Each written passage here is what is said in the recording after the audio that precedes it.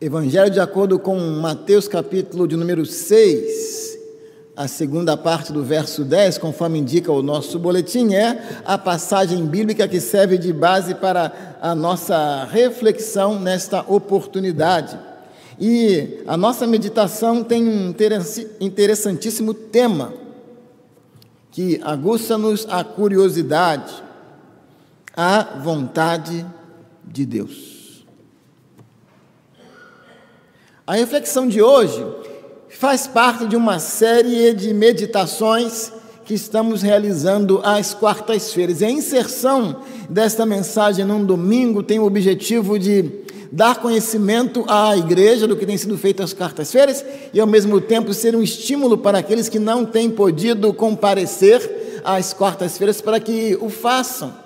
Reunimos-nos na sala 17, como foi anunciado aqui pelo diácono Paulo Moreira a partir das 19 horas, 7h30 da noite. E ali nós oramos, ali nós louvamos a Deus e ali também nós refletimos na palavra do Senhor. E a nossa meditação tem sido na chamada oração modelo Pai Nosso. A oração modelo surge como uma resposta a uma inquirição feita pelos seus discípulos, discípulos de Cristo, os aprendizes dele na passagem de acordo com Lucas capítulo 11, verso 1, os discípulos inquirem a Jesus: Mestre, ensina-nos a orar, assim como João, o Batista, ensinou aos seus discípulos. Aqueles discípulos originais de Jesus que conviviam com ele cotidianamente, percebiam a necessidade de aprender a desenvolver esta grande e indispensável prática espiritual, que é a vida de oração. Eles careciam de aprender a orar, e nós também, discípulos de Jesus contemporâneos, precisamos, à semelhança daqueles do passado, aprender como orar convenientemente. É nesse contexto que Jesus apresenta para os seus aprendizes a chamada oração modelo não um modelo no sentido de ser reproduzida ipsis literis, repetida palavra por palavra, mas sim que entendamos na estrutura presente nessa oração um modelo, uma estrutura que nos capacite a orar convenientemente. A nossa primeira reflexão às quartas-feiras foi sobre o início da oração modelo. Pai nosso quando somos chamados a refletir que temos Deus como um Pai, um Pai que ao mesmo tempo não é o Pai de todos, Deus é o Criador de todos, no sentido de criação, Ele realmente é o originador e pode ser chamado de Pai de todos. Aliás, a própria Bíblia diz que Deus é o Pai dos Espíritos, Ele que deu à luz todos os seres humanos nesse mundo dando origem física. No entanto, espiritualmente falando, a Bíblia diz que a humanidade é dividida em duas paternidades: uma paternidade do céu e uma paternidade que é de baixo. E a Bíblia nos instrui que aqueles que quiserem tornarem-se filhos de Deus precisam receber a Cristo no seu coração pois a palavra do Senhor nos informa que a todos quantos o receberam, isso é Jesus, foi-lhes dado o poder de se tornarem aquilo que não eram antes, filhos de Deus. Meditamos também que Deus faz com que nós nos conscientizemos nessa passagem que não somos filhos únicos de Deus. Por isso nos chama a orar, Pai nosso. Nós somos filhos de Deus conscientes de que temos irmãos, que, que precisamos viver nesta irmandade.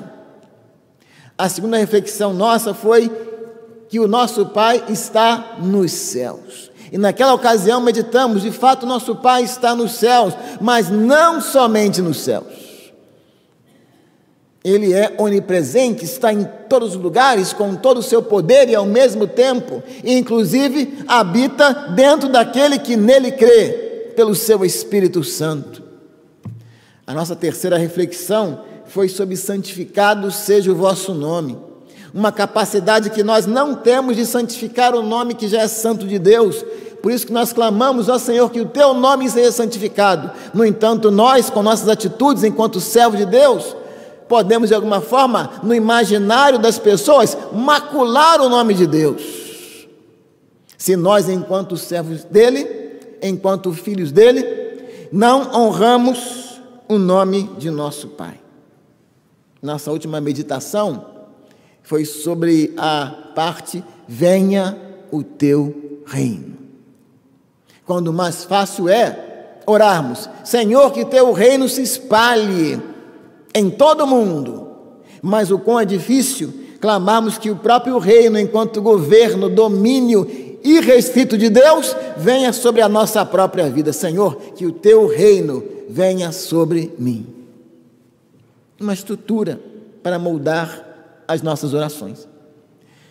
A nossa quinta reflexão, na próxima quarta-feira será a sexta. A quinta reflexão tem esse título que está em nossos boletins: A vontade de Deus. E com base nessa segunda parte do versículo 10 de Mateus 6, que diz: Seja feita a tua vontade, assim na terra como no céu, nós meditaremos também em duas divisões. Primeira delas, a vontade de Deus.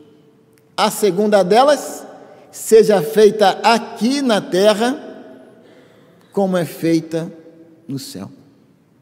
Vamos orar?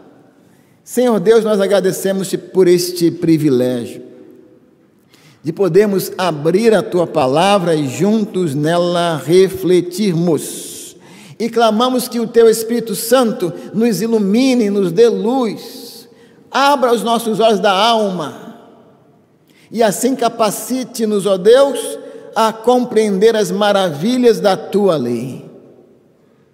E mais do que compreensão, dá-nos condições de aplicação dessas realidades em o nosso viver pessoal e individual.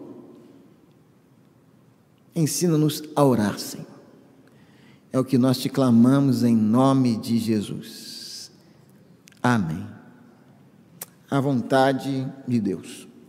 Talvez a primeira consideração nesse tópico inicial, a vontade de Deus, seja pensarmos no que é vontade. O que é vontade? A palavra grega é telemar que pode ser traduzida por um ato de vontade, a própria vontade, um desejo. Vontade. E quando nós imaginamos essa primeira divisão e o próprio título do nosso sermão, a vontade de Deus.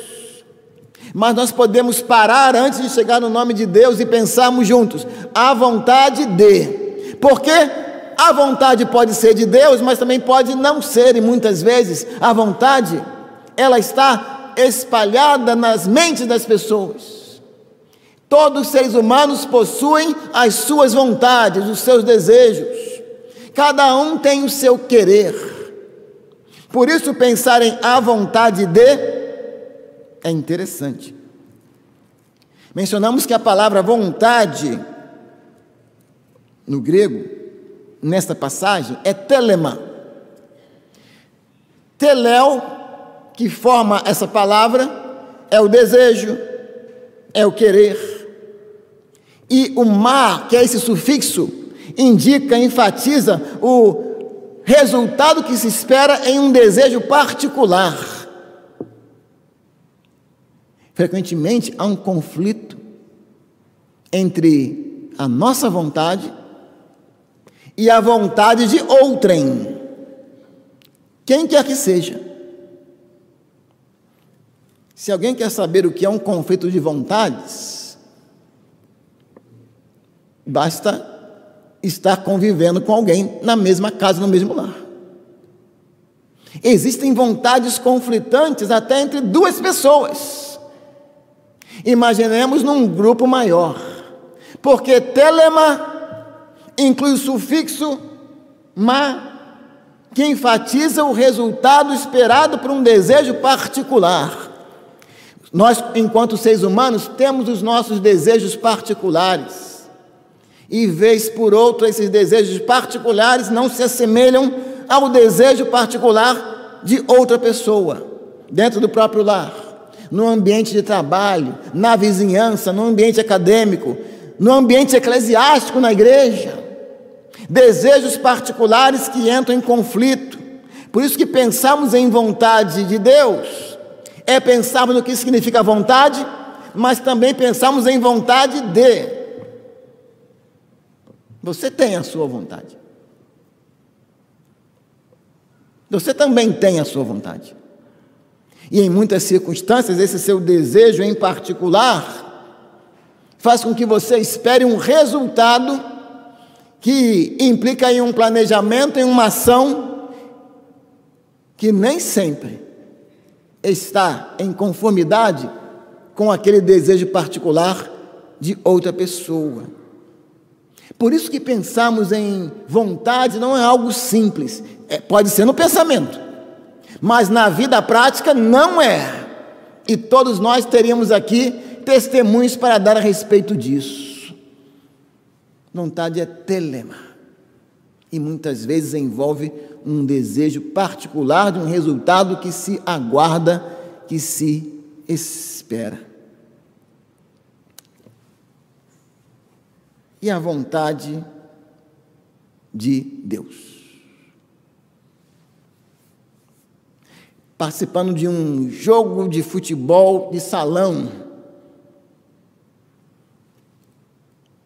um ambiente chamado Pares. Um jovem crente em Cristo Jesus, no momento que antecedia a sua entrada em quadra, disse: Quando eu entro na quadra, o Espírito Santo fica do lado de fora. Que, que esse jovem quis dizer com esse jovem crente?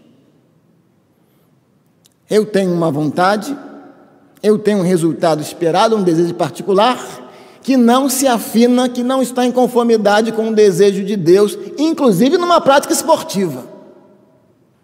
Então a solução hipotética dele foi essa: a minha vontade vai se cumprir, a parte da vontade de Deus. Qual é a solução? Na quadra eu entro e o meu desejo em particular vai ser realizado, e o Espírito Santo sai um pouquinho, fica um pouquinho do canto aí. Quando acabar o jogo, você volta. Isso que pode parecer engraçado, mas não é inverídico, porque eu ouvi isso com meus próprios ouvidos.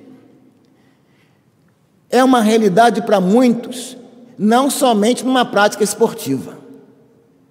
Há pessoas que vivem assim nas suas vidas cotidianas, na sua convivência em família, num momento mais acalorado, numa entrada num conflito, o Espírito Santo fica fora. E agora eu vou resolver isso aqui.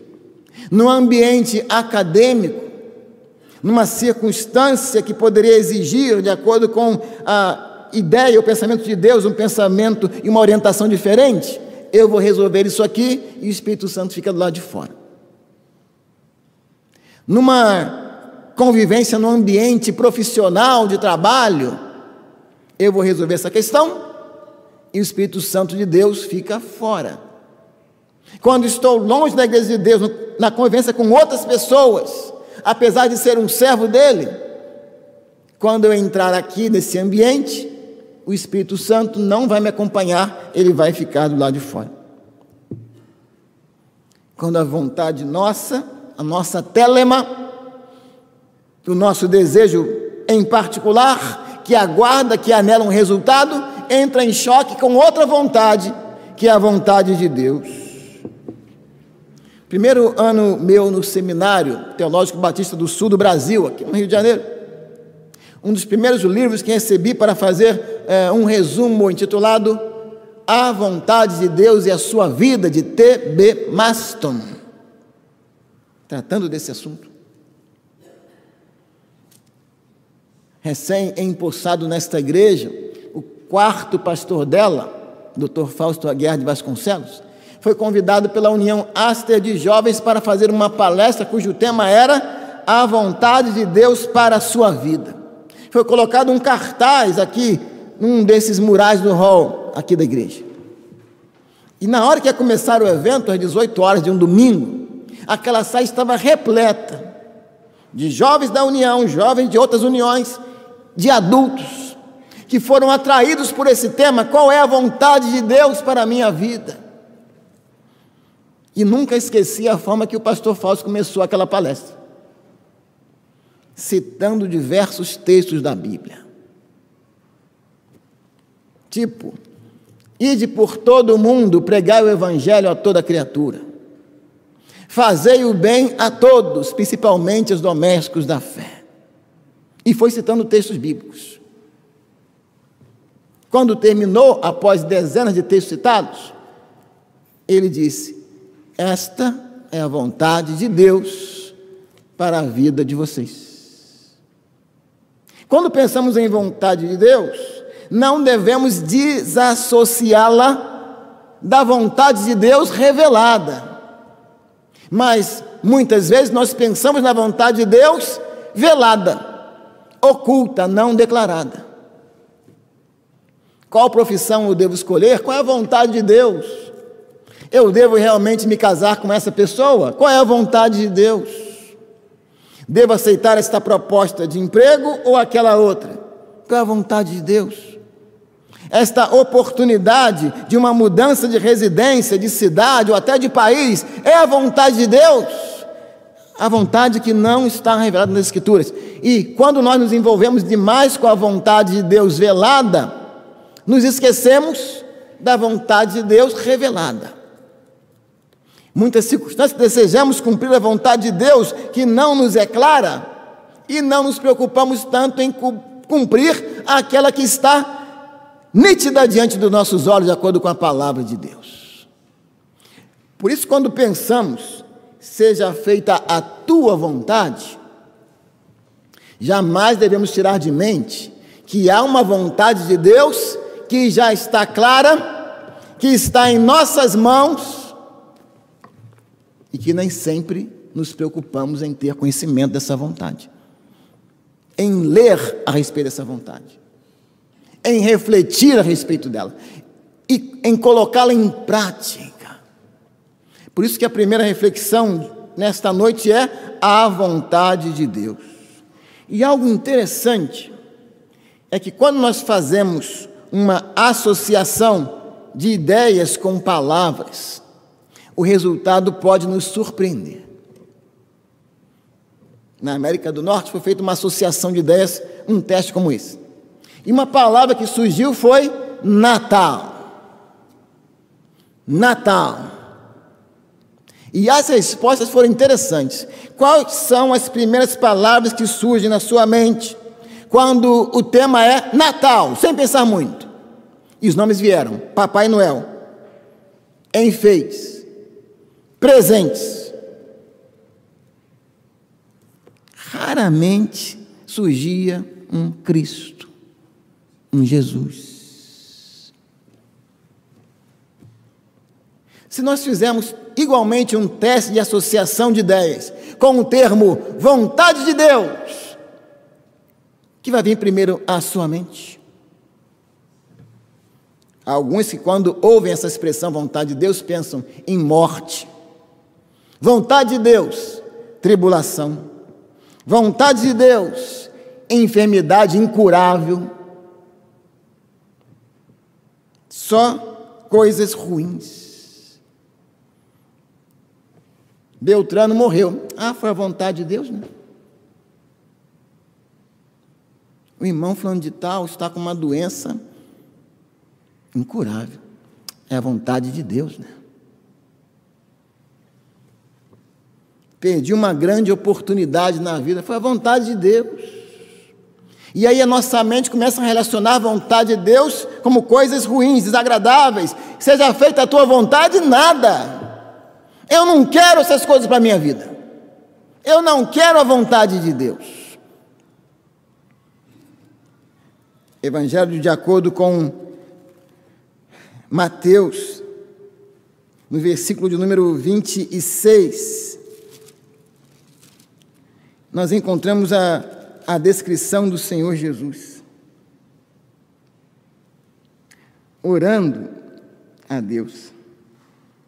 E nessa oração de Mateus capítulo 26, e em específico,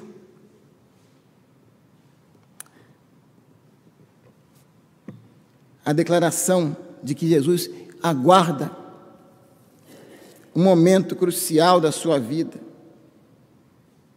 E ele declara que aproximava-se o momento de ele ser entregue. E no verso 38, então lhes disse: A minha alma está profundamente triste até a morte, ficai aqui, vigiai comigo.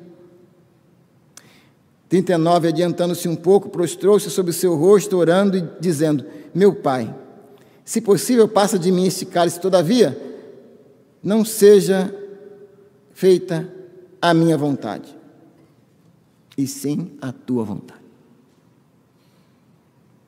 E nós lemos um texto como esse. A vontade de Deus é martírio. A vontade de Deus é sofrimento. A vontade de Deus é dor. Eu não quero essa vontade. Que não seja feita a vontade de Deus para a minha vida.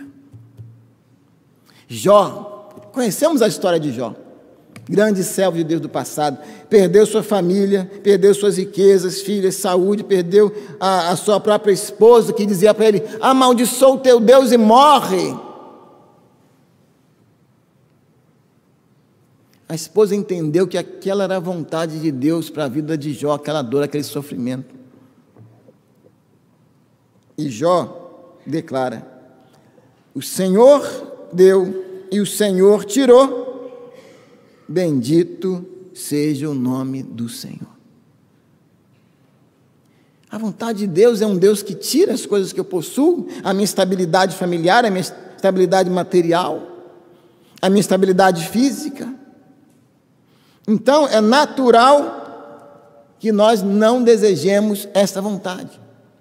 E é interessante que a própria Bíblia nos demonstra, nos instrui, que Satanás, o diabo, ele procura incutir na mente das pessoas de que a vontade de Deus ela não é boa. Gênesis capítulo 3, a partir do versículo 1, nos instrui que a serpente, como instrumento de Satanás, aproxima-se do primeiro casal e afirma: Não foi assim que Deus te disse? Que não, vocês não podem comer de toda árvore que está no jardim e nem mesmo tocar. E ali iniciou-se a conversa com Eva. O objetivo de Satanás é mostrar para a humanidade que a vontade de Deus, ela é restritiva, ela é ruim, é desagradável, é indesejável para que jamais um servo de Deus, um cristão, ore, seja feita a tua vontade, Senhor. Mas, pelo contrário, a renegue, a repulse. O objetivo de Satanás, distorcendo a vontade de Deus, pois o Senhor tinha dito a Adão: vocês podem comer de todas as árvores do jardim do Éden, menos de uma. E Satanás disse: Deus falou que você não pode comer de nada. Ou seja, o objetivo do inimigo de nossas almas é afirmar que a vontade de Deus é mais restritiva, é desagradável, não nos faz bem e que a vontade dele sim é boa, agradável, de que nós seríamos mais felizes se não nos submetêssemos à vontade de Deus. É o propósito do inimigo de nossas almas. No entanto, quando nós pensamos em vontade de Deus, lendo o texto de Romanos capítulo 12, nos versos 1 e 2, que diz o apóstolo Paulo: Não vos conformeis com este mundo, mas transformai-vos pela renovação do vosso entendimento, para que experimenteis a vontade de Deus. E como é que Paulo descreve a vontade de Deus? Boa, perfeita e agradável. Paulo podia perfeitamente orar de acordo com o modelo da oração do Pai Nosso. Porque a convicção de Paulo é de que a vontade de Deus para ele era agradável, boa e perfeita. E esse é o fato. A vontade de Deus é boa, agradável e é perfeita. Mas nós imaginamos o contrário. Algumas vezes testemunhei que quando eu era adolescente, via meu irmão, primeiro crente em Cristo da família, batista, chegar em casa das atividades dominicais, no início da tarde, almoçar e já sair logo, e eu pensando, coitado do meu irmão, não sai da igreja. E depois eu passei 20 anos como pastor para pagar a língua, morando dentro da igreja. Eu não conhecia a vontade de Deus, boa, perfeita e agradável. Há muitos que rejeitam a vontade de Deus porque, como eu, adolescente, não compreendem como é essa vontade de Deus. A vontade de Deus implica, às vezes, sofrimento, como foi no caso de Jesus, até a morte. A vontade de Deus, às vezes, se revela com uma enfermidade, como foi no caso de Jó, numa noite, num anoitecer na vida? Sim, mas o amanhecer também é vontade de Deus. A nossa saúde, o respirar, o recebemos a palavra dEle, encontrarmos nele a, a salvação para as nossas almas, direcionamento para as nossas vidas, também é a vontade de Deus. E precisamos imaginar frequentemente seja feita a tua vontade. Seja feita a vontade de Deus,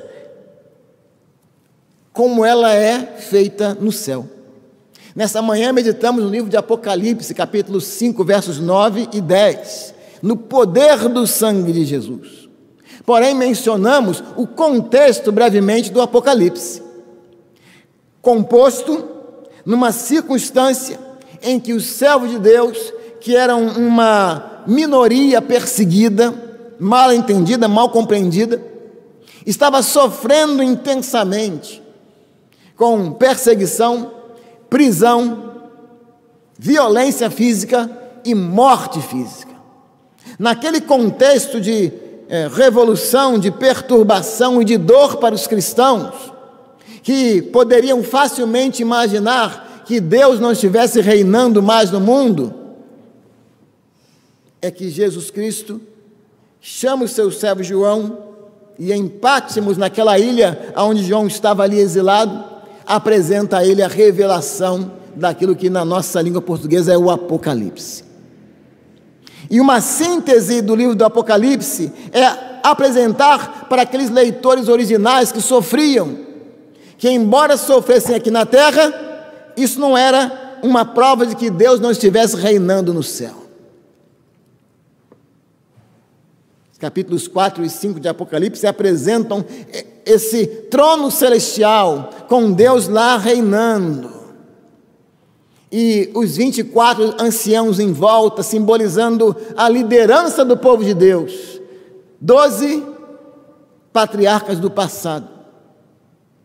E os doze apóstolos, 24 e além deles as, os quatro seres viventes, e a multidão de anjos, e o Senhor no centro, no trono, reinando, e aquele leão da tribo de Judá, que ao mesmo tempo também era o cordeiro que foi morto, mas que estava vivo, que havia derramado o seu sangue para comprar aqueles que estavam perdidos. Ele era digno de abrir o livro que desenrolava e contava toda a história do mundo, passado, presente e futuro. No céu, a vontade de Deus é perfeitamente realizada e o Senhor está reinando, ainda que as circunstâncias na terra sejam aparentemente aquelas que desmentem esse fato celestial. Quantas circunstâncias. Voltávamos em um dos é, veículos de transporte, num táxi, para a nossa casa ali na Desembargador Isidro. E o taxista, meio irritado, contava que a sua filha adolescente havia sido assaltada, creio que no dia anterior. E os ladrões, ainda com violência, diziam: Você só tem 30 reais. Além de roubar o celular da menina, que chegou atrasada na escola, não pôde entrar, perdeu uma avaliação. Há circunstâncias piores que essas acontecendo no mundo guerras, violências de toda ordem. E alguém pode imaginar aonde está Deus nessa circunstância. Naquelas ah, situações piores ainda, contemporâneas à composição do Apocalipse, João olha, seus olhos são abertos e ele contempla Deus reinando no céu. Quando Jesus nos ensina a orar, seja feita a tua vontade aqui na terra como é feita no céu. A vontade de Deus é feita no céu de maneira incontestável. Na glória celestial, Deus está no seu trono, reinando, soberano, ordenando as ações. Foi Ele que enviou o seu filho a este mundo. Foi Ele que fez com que o seu filho viesse aqui para pagar um preço na cruz por nós. Foi Ele que o recebeu de volta na glória celestial, assentado à sua direita, da onde ali reinam soberanos, até o momento em que ele enviará novamente o seu filho a este mundo para dar encerramento à história. No céu, o Senhor tem a sua vontade sendo realizada de maneira ativa, sem qualquer tipo de questionamento. E aqui na terra, Seja feita a tua vontade aqui na terra, como ela é realizada no céu. No céu, alguém pode imaginar que a vontade de Deus não esteja sendo feita. O que daria indicação que Deus perdeu o controle do mundo. No entanto, a história está seguindo o seu curso dentro da vontade de Deus. Nada foge aos ditames do Senhor. A vontade de Deus ativa é diferente daquilo que ele permite na sua soberania que aconteça. Daí muitos denominarem vontade permissiva. Não é que Deus queira, mas ele permite. Deus deu-nos, enquanto humanidade, liberdade para os nossos atos. E nós temos liberdade para escolher. Jesus mencionou a respeito dos dois caminhos, das duas portas. O Senhor não obriga ninguém a escolher, a adentrar por uma porta ou para seguir por um caminho. Nós podemos tomar nossas decisões e a humanidade o tem feito.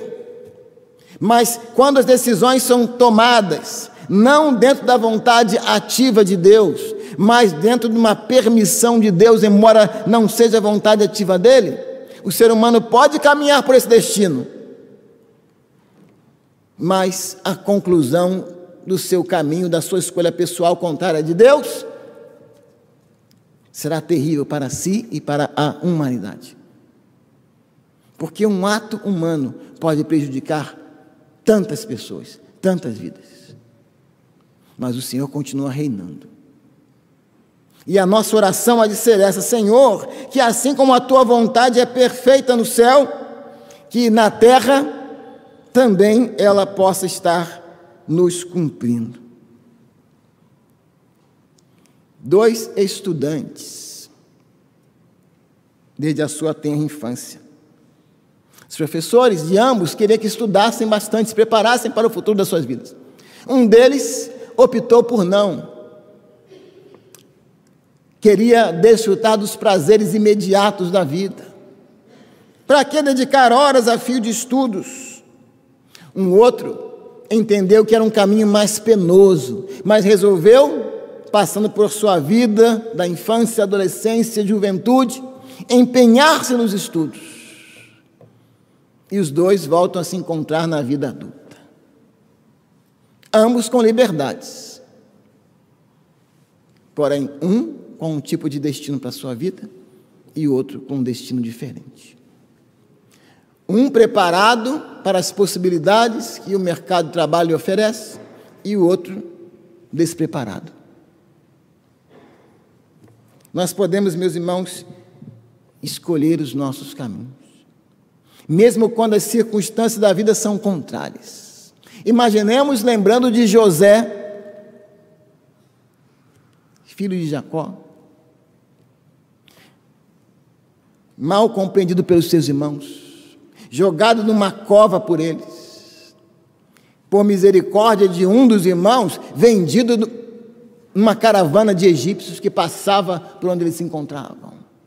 Quantas razões teria aquele jovem para se sentir magoado, revoltado, e dizer que não tinha caminhos para a sua vida.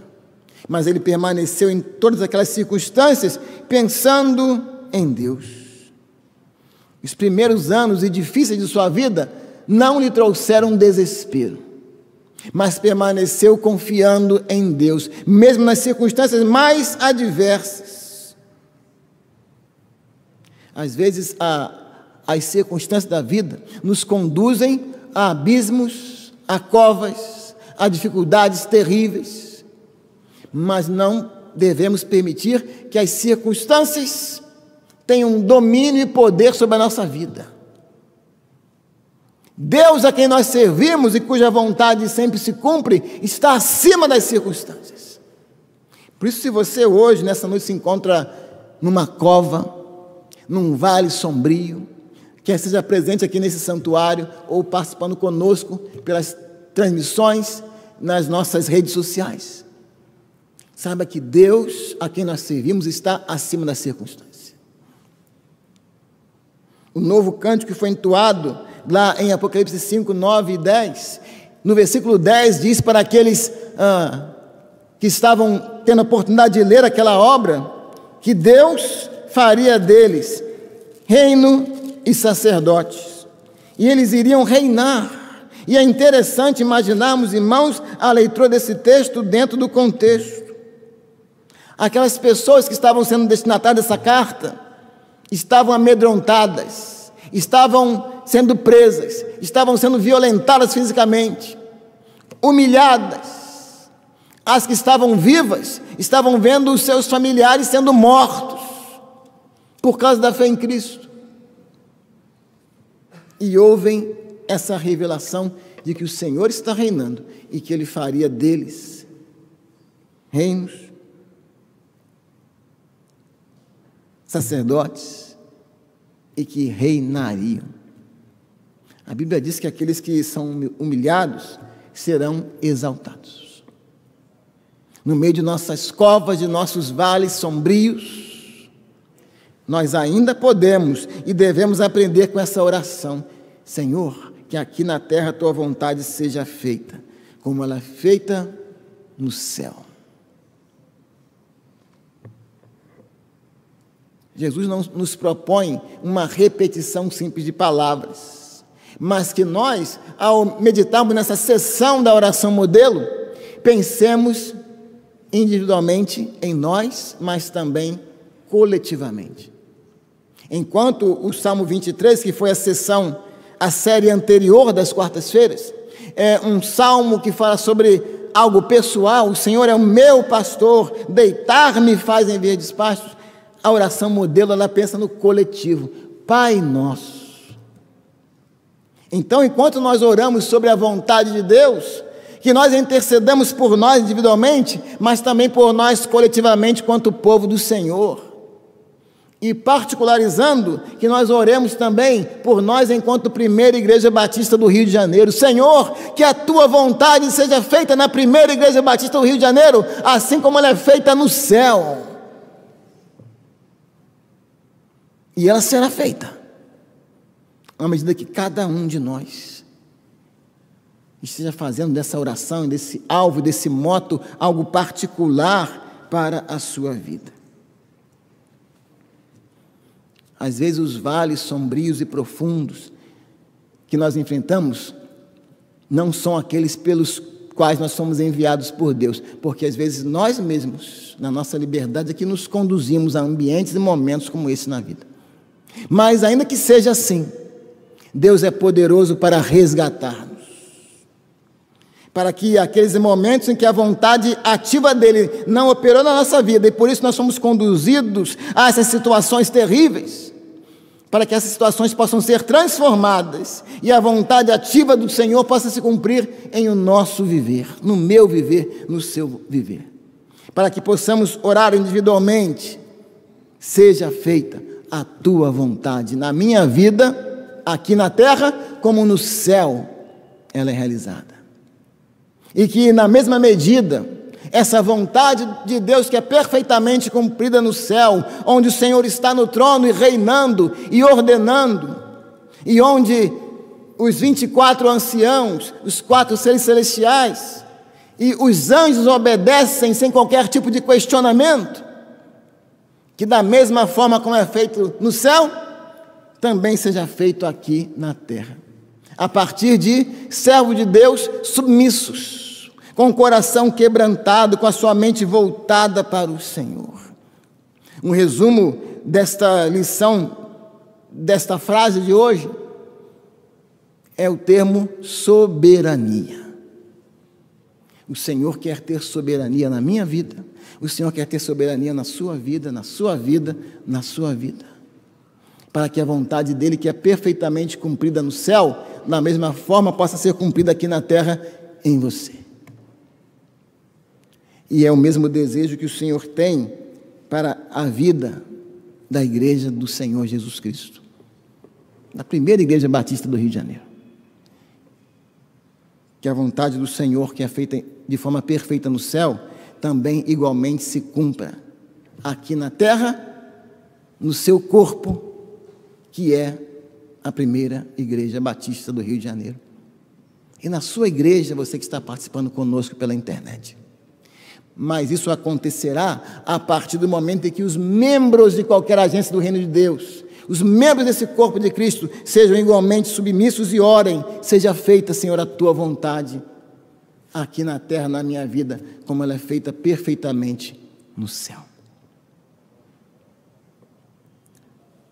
E a palavra de Deus nos ajuda a pensarmos e a cantarmos ao Senhor. Jesus veio a esse mundo e afirmou que ele não veio aqui para cumprir a vontade dele.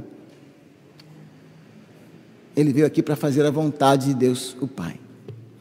Ele nos orientou e tem nos orientado pela Sua palavra como é essa sua vontade.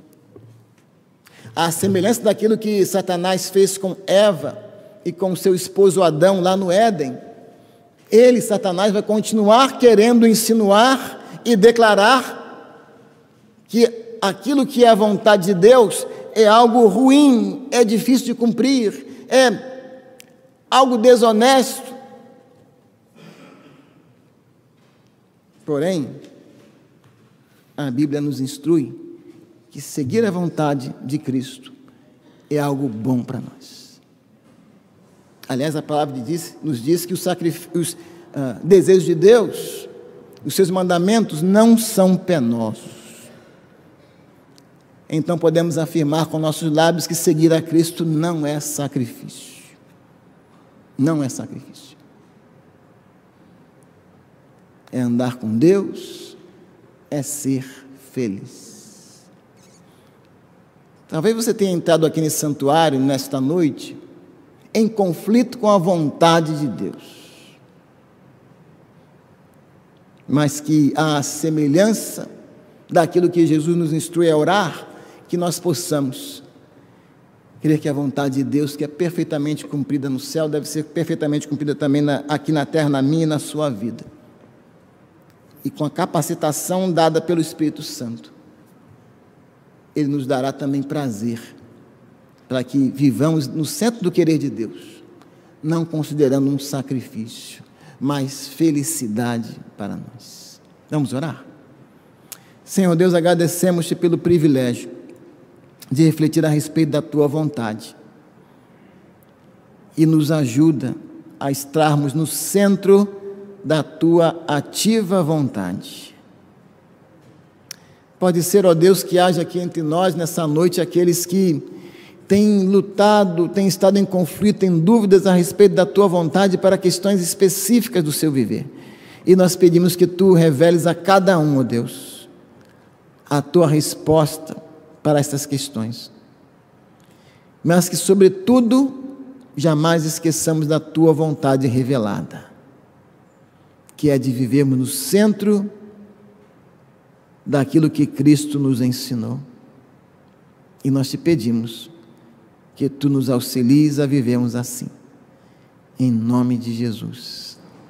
Amém.